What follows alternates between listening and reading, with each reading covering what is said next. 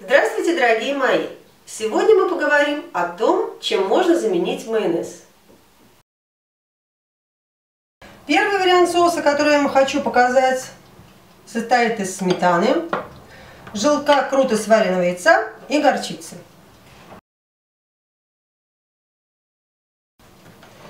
Беру желток,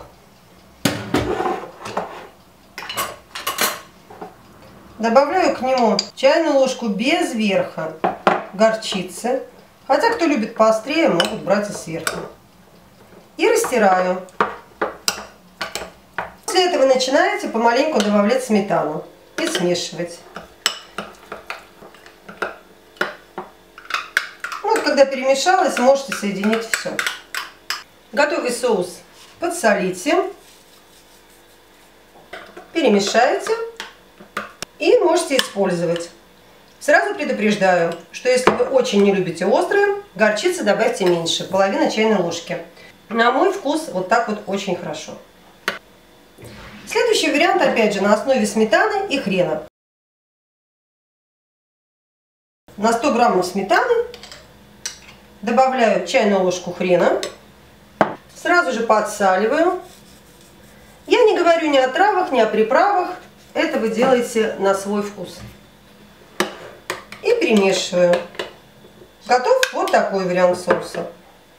Следующий вариант. 50 граммов творога, 100 граммов молока, горчица и либо один маленький зубчик чеснока, либо половинка большого.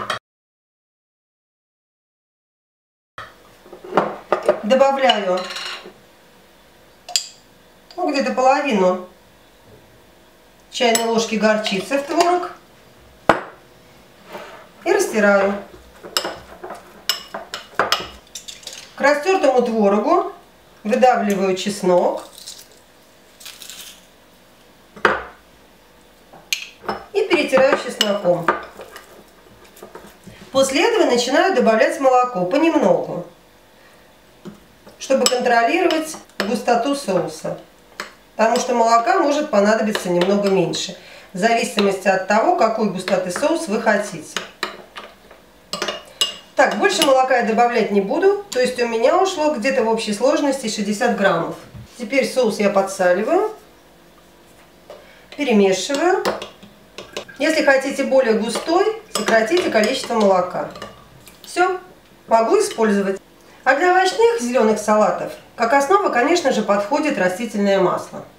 Самый простой вариант – это растительное масло, уксус, сахар и соль. Можно использовать бальзамический, можно использовать обычный. Либо вместо уксуса использовать лимон.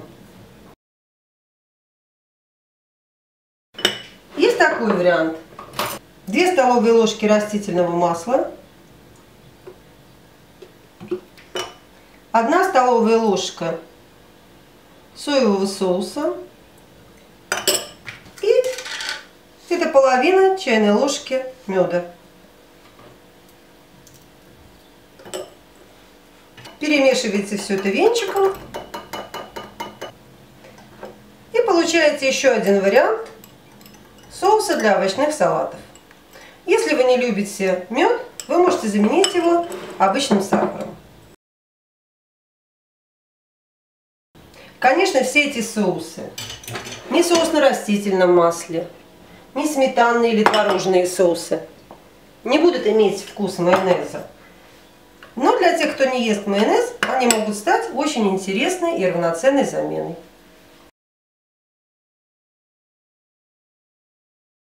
Спасибо, что вы были со мной, смотрели видео. Если вам понравился видеорецепт, подписывайтесь на канал.